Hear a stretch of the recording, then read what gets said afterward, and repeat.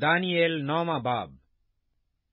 دارا ابن اقسو یرس، جو مادیوں کی نسل سے تھا اور کسدیوں کی مملکت پر بادشاہ مقرر ہوا۔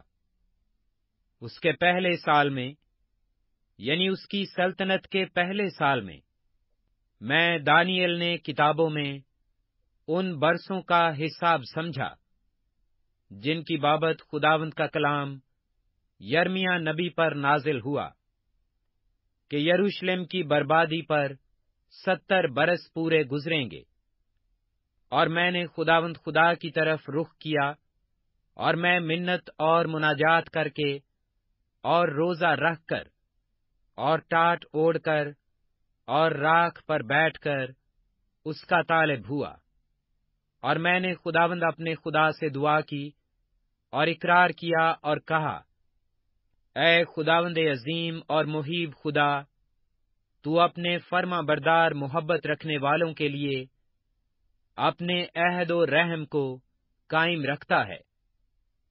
ہم نے گناہ کیا، ہم برگشتہ ہوئے۔ ہم نے شرارت کی، ہم نے بغاوت کی، بلکہ ہم نے تیرے احکام و آئین کو ترک کیا ہے۔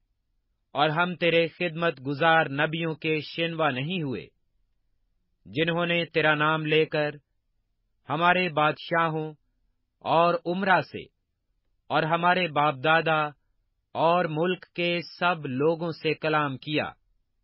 اے خداوند، صداقت تیرے لیے ہے اور رسوائی ہمارے لیے، جیسا اب یہودا کے لوگوں اور یروشلم کے باشندوں اور دور و نزدیک کے تمام بنی اسرائیل کے لیے ہے، جن کو تو نے تمام ممالک میں ہانک دیا، کیونکہ انہوں نے تیرے خلاف گناہ کیا۔ اے خداوند، رسوائی ہمارے لیے ہے، ہمارے بادشاہوں، ہمارے عمرہ اور ہمارے باپ دادا کے لیے، کیونکہ ہم تیرے گنہگار ہوئے۔ خداوند خدا ہمارا خدا رحیم و غفور ہے۔ اگرچہ ہم نے اس سے بغاوت کی، ہم خداوند اپنے خدا کی آواز کے شنوا نہیں ہوئے کہ اس کی شریعت پر جو اس نے اپنے خدمت گزار نبیوں کی معرفت ہمارے لیے مقرر کی عمل کریں۔ ہاں تمام بنی اسرائیل نے تیری شریعت کو توڑا اور برگشتگی اختیار کی۔ تاکہ تیری آواز کے شنوا نہ ہو اس لیے وہ لانت اور قسم جو خدا کے خادم موسا کی توریت میں مرکوم ہیں، ہم پر پوری ہوئی کیونکہ ہم اس کے گنہگار ہوئے۔ اور اس نے جو کچھ ہمارے اور ہمارے قاضیوں کے خلاف جو ہماری عدالت کرتے تھے فرمایا تھا، ہم پر بلائے عظیم لا کر ثابت کر دکھایا، کیونکہ جو کچھ یروشلم سے کیا گیا، وہ تمام جہان میں اور کہیں نہیں ہوا۔ جیسا موسا کی توریت میں مرکوم ہے، یہ تمام مصیبت ہم پر آئی، تو بھی ہم نے خداوند اپنے خدا سے التجا نہ کی کہ ہم اپنی بد کرداری سے باز آتے اور تیری سچائی کو پہچانتے۔ اس لیے خداون نے بلا کو نگاہ میں رکھا اور اس کو ہم پر نازل کیا، کیونکہ خداوند ہمارا خدا اپنے سب کاموں میں جو وہ کرتا ہے صادق ہے، لیکن ہم اس کی آواز کے شنوا نہ ہوئے۔ اور اب اے خداوند ہمارے خدا، جو زور آور بازو سے اپنے لوگوں کو ملک مصر سے نکال لایا اور اپنے لیے نام پیدا کیا جیسا آج کے دن ہے۔ ہم نے گناہ کیا۔ ہم نے شرارت کی۔ اے خداوند، میں تیری منت کرتا ہوں کہ تو اپنی تمام صداقت کے مطابق اپنے کہر و غضب کو اپنے شہر یروشلم یعنی اپنے کوہ مقدس سے موقوف کر، کیونکہ ہمارے گناہوں اور ہمارے باپ دادا کی بد کرداری کے سبب سے یروشلم اور تیرے لوگ اپنے سب آس پاس والوں کے نزدیک جائے ملامت ہوئے۔ پس اب اے ہمارے خدا، اپنے خادم کی دعا اور التماس سن اور اپنے چہرہ کو اپنے ہی خاطر اپنے مقدس پر جو ویران ہے جلوہ گر فرما۔ اے میرے خدا کان لگا کر سن اور آنکھیں کھول کر ہمارے ویرانوں کو اور اس شہر کو جو تیرے نام سے کہلاتا ہے دیکھ کہ ہم تیرے حضور اپنی راست بازی پر نہیں، بلکہ تیری بے نہایت رحمت پر تکیا کر کے مناجات کرتے ہیں۔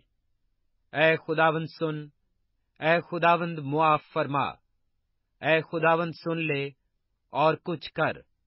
اے میرے خدا، اپنے نام کی خاطر دیر نہ کر، کیونکہ تیرا شہر اور تیرے لوگ تیرے ہی نام سے کہلاتے ہیں۔ اور جب میں یہ کہتا اور دعا کرتا اور اپنے اور اپنی قوم اسرائیل کے گناہوں کا اقرار کرتا تھا، اور خداوند اپنے خدا کے حضور، اپنے خدا کے کوہ مقدس کے لیے مناجات کر رہا تھا۔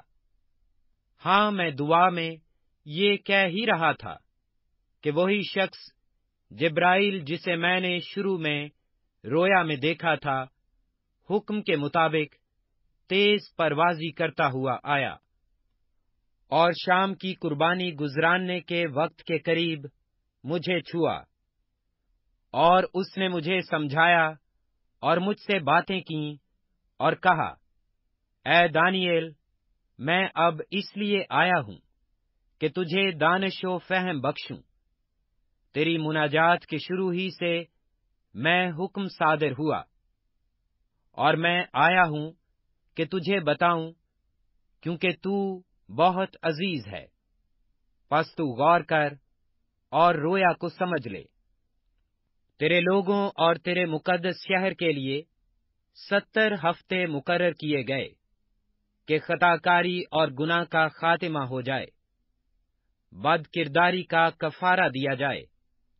ابدی راست بازی قائم ہو۔ رویا و نبوت پر مہر ہو اور پاک ترین مقام ممسو کیا جائے۔ پس تو معلوم کر اور سمجھ لے کہ یروشلم کی بحالی اور تعمیر کا حکم صادر ہونے سے ممسو فرما روا تک سات ہفتے اور باسٹھ ہفتے ہوں گے۔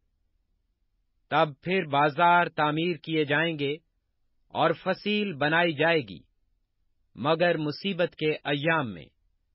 اور باسٹھ ہفتوں کے بعد وہ ممسو قتل کیا جائے گا اور اس کا کچھ نہ رہے گا اور ایک بادشاہ آئے گا جس کے لوگ شہر اور مقدس کو مسمار کریں گے اور اس کا انجام گویا طوفان کے ساتھ ہوگا اور آخر تک لڑائی رہے گی۔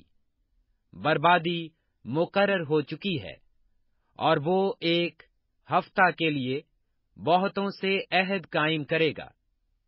اور نصف ہفتہ میں زبیحہ اور ہدیہ موقوف کرے گا اور فصیلوں پر اجاڑنے والی مکروہات رکھی جائیں گی۔ یہاں تک کہ بربادی کمال کو پہنچ جائے گی۔ اور وہ بلا جواز مقرر کی گئی ہے۔ اس اجاڑنے والے پر واقعہ ہوگی۔